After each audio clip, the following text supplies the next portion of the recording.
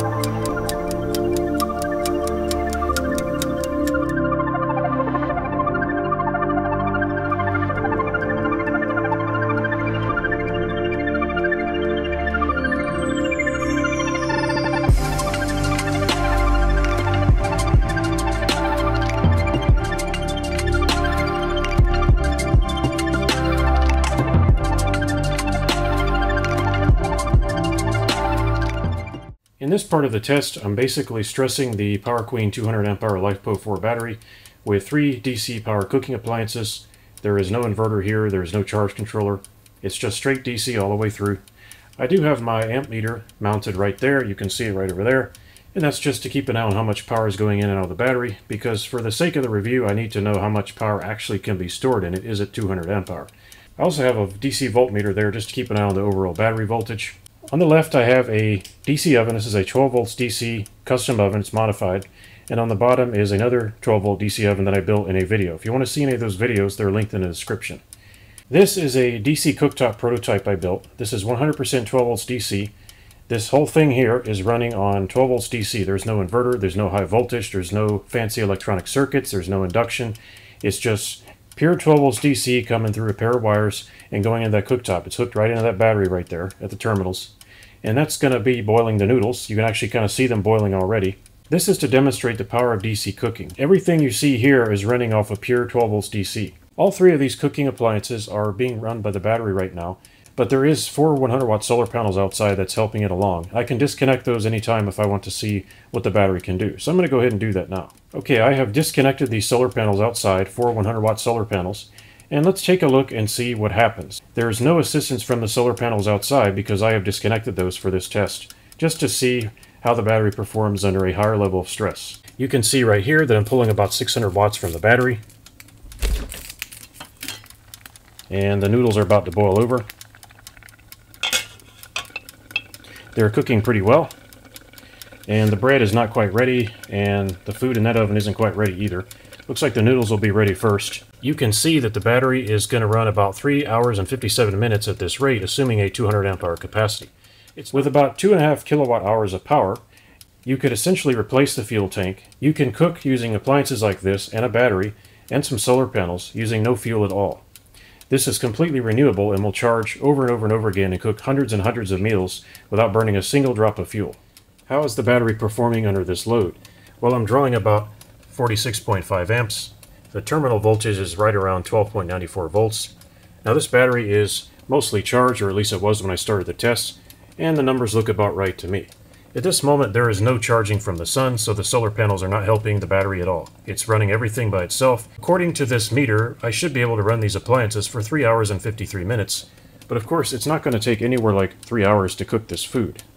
Maybe it would take 30 minutes, maybe it would take 45 minutes, which means I could easily cook multiple meals off of this 200 amp hour Power Queen battery without too much trouble at all.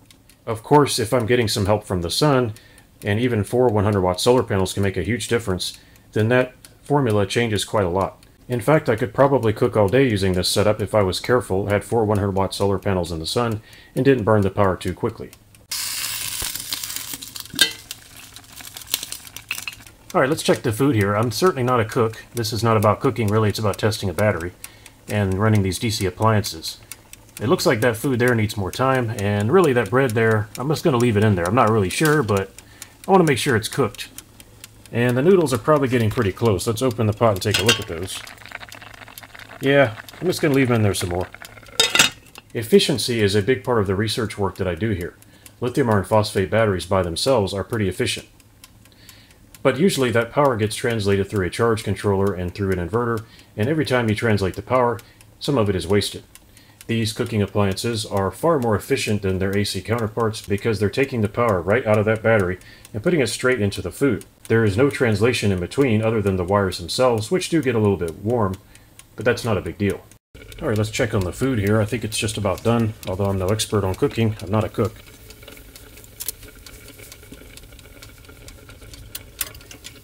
Yeah, I'd say it's a little overdone actually, but it's still edible. So that's ready to eat. And the bread looks to be pretty much done, I would say. This is not a cooking channel, but sometimes you have to cook to do research. And the noodles surely by now must be done. Yeah, I would say they are.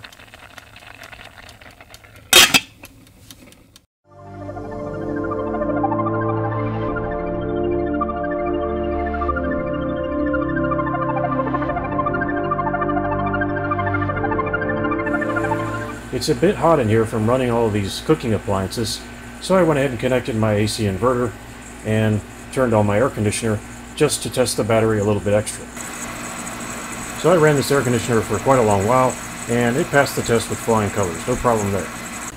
According to this meter, I should be able to run the air conditioner for over 5 hours without any solar charging at all. Of course, if I turn on the solar panels, then that number will increase, and I should be able to get through the entire day running the air conditioner, no problem at all. This test is a great opportunity to show the reality of kitchen-grade cooking appliances running off of simple 12-volt DC systems without the use of a so-called off-grid DC to AC inverter.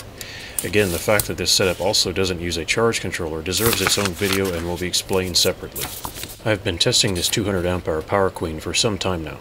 It has the rated capacity and it performs as advertised, so I will recommend it. To avoid being biased, I don't accept commissions for product sales. If you're interested, there's a discount code and a product link in the description. Thanks for watching and thanks Power Queen for providing a sample for this test and review.